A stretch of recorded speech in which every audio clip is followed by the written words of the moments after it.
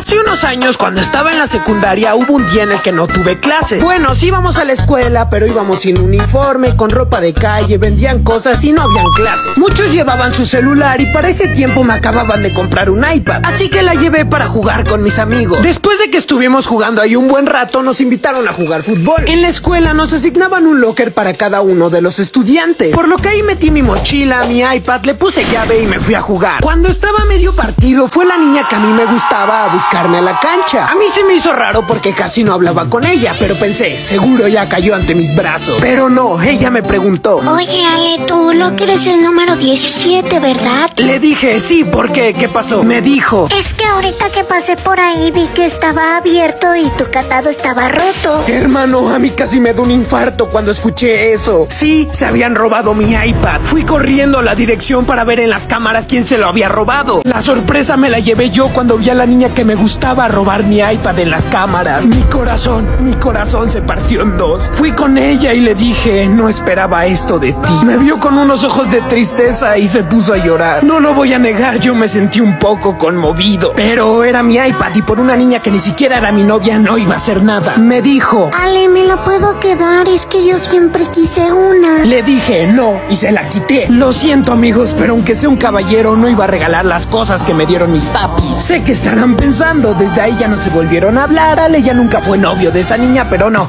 todo lo contrario. Desde ahí empezamos a hablar un poco más y sí, me hice su novio después de un tiempo. Ella todavía me robaba cosas cuando yo era su novio. Pero bueno, esa es una historia para otro video. Díganme si la quieren escuchar.